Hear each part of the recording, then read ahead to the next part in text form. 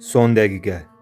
Rəsmi Moskva həlak olanların yaxınlarına 3 milyon veriləcək deyə bildirilib. Moskvada Krakos City halda törədilən terror aktı nəticəsində həlak olanların yaxınlarına 3 milyon, yəni 55500 AZN, yaralananlara isə 1 milyon rubl, yəni 18500 AZN ödəniləcək.